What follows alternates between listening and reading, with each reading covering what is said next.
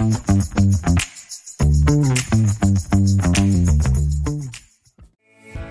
So, to prevent those negative actions from happening in the first place, you're going to begin by identifying what high consequence actions exist in your enterprise and then writing policies to attach those high consequence actions to workflow steps that are easy to complete but still must be completed. So, for example, you might be releasing some sort of code to a production environment adding a very simple step to verify that that authorization just in time at the moment that it's happening by more than just the person who's initiating the action. This is something that in principle we've all wanted to do. However, the tooling to make that convenient and make that practical has not existed in the past.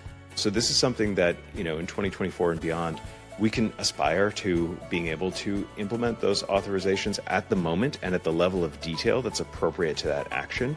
And that's what's going to give you the assurance that uh, a high consequence action isn't going to be unintentionally or intentionally but maliciously invoked without your knowledge. Really, anytime you dig into a particular work group or a workload or a process, really anywhere in the enterprise, you're going to encounter multiple levels of answer to the question do we have enough protection? Do we have enough authorization? Do we have the right roles?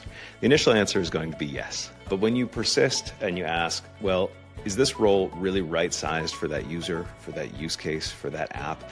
Inevitably, and this is cascading throughout the enterprise, the answer is going to be you're most likely over provisioned you've over provisioned access. And if you think about the asymmetry between over provisioning and under provisioning, if you were under provisioning access, your applications wouldn't work and your employees wouldn't work, right? They would sit at their desk and they would twiddle their thumbs because they could not do anything. So it must be the case that you are either just right or over provisioned. Just right is really hard to do. And so the average case that you're going to find out there is that you've slightly or substantially over provisioned. This is a topic that I don't want to call it a dirty secret, but it's something that when you get together with a bunch of professionals that, that have been in this industry for a long time, that's an inevitable acknowledgement that that's par for the course.